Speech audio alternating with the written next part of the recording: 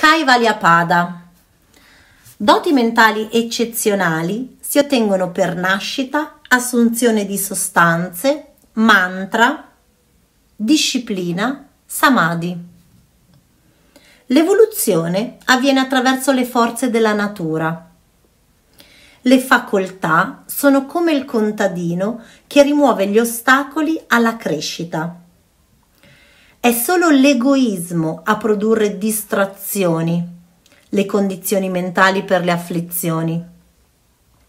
Dei tanti schemi mentali, uno è determinante, quello che scaturisce dalla meditazione. Lo yogi agisce in maniera disinteressata a differenza delle altre persone. Quindi l'atteggiamento evolve alla maturazione delle tendenze mentali.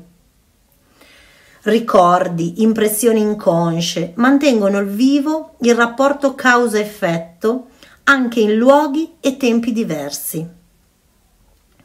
Desideri e impressioni sono spesso ancestrali e senza un preciso inizio.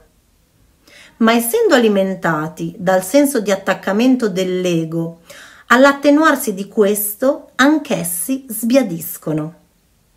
Gli effetti del passato sul futuro dipendono dalle scelte, meriti e condizioni create. Gli effetti si manifestano come cambiamenti naturali.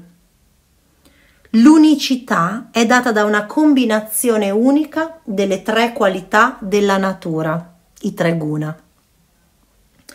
Le diverse manifestazioni di questa unicità vengono percepite in modo diverso a seconda dello stato mentale. Ma l'oggetto non dipende dalla mente che lo percepisce, altrimenti cosa sarebbe in sua assenza? Che venga percepito o no dipende dall'accessibilità dell'oggetto e dalla predisposizione del soggetto.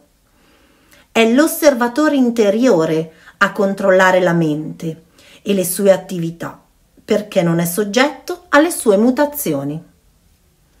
La mente è parte di ciò che è percepito. La mente non può concentrarsi su entrambi i processi. L'eventualità di menti momentanee creerebbe confusione di memorie.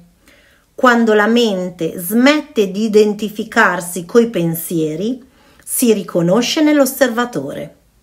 La mente quindi presenta oggetti all'osservatore e presenta l'osservatore a se stesso.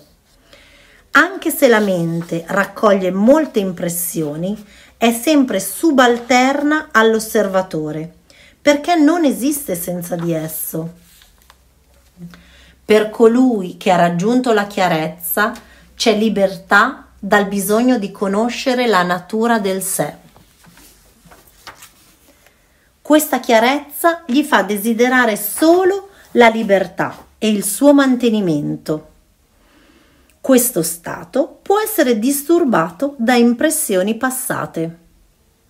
Il superamento di queste distrazioni equivale al superamento delle afflizioni.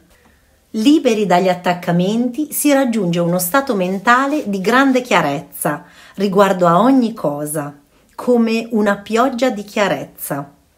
Questo è lo stato di vera libertà dalle azioni basate sulle afflizioni. Quando la nebbia che oscura la conoscenza è rimossa, la conoscenza è perfetta e non c'è bisogno di conoscere altro.